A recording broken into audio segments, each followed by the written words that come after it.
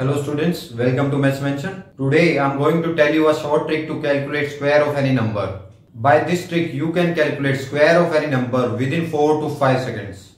If we have to find square of 54, then we draw two intersecting lines like this and write the square of 4 in first column that is 16 and write square of 5 in second column that is 25.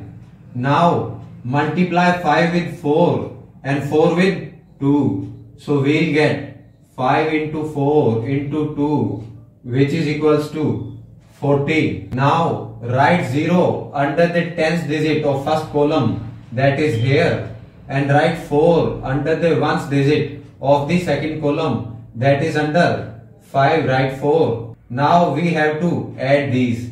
Adding these we get 6 here. 1 plus 0 is 1. 5 plus 4 is 9 and 2 comes here. So 2916 is our answer.